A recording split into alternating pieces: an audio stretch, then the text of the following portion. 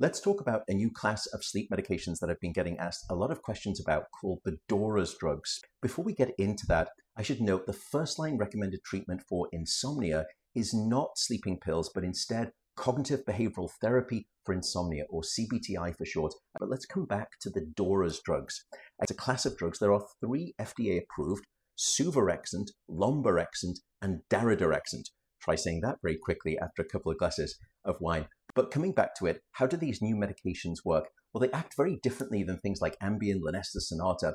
Dora's drugs act like a clever set of chemical fingers and they go down deep into the brain and they just dial down the volume on wakefulness and then they step back and they allow the antithesis of wakefulness to come in its place, which is this thing called more naturalistic sleep. Now, just because these medications improve your sleep doesn't necessarily mean that you are a better physiological organism as a consequence the next day. But two recent studies suggested that it does provide that benefit, focused here on Alzheimer's disease pathology.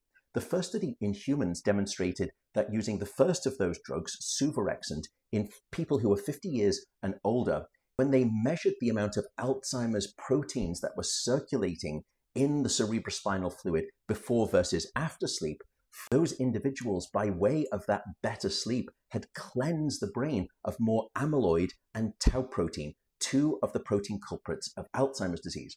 We also know from a recent animal study where those animals were designed to overexpress the amount of Alzheimer's disease pathology, treating them with one of these DORA's drugs reduced down the amount of Alzheimer's pathology that would normally have built up, and it protected their memory centers from shrinkage by somewhere between 30 to 40%. Now, we are a long way from suggesting that these medications should be used or considered or even thought about as a treatment approach or a preventative tool for Alzheimer's disease. That's not the point of this video.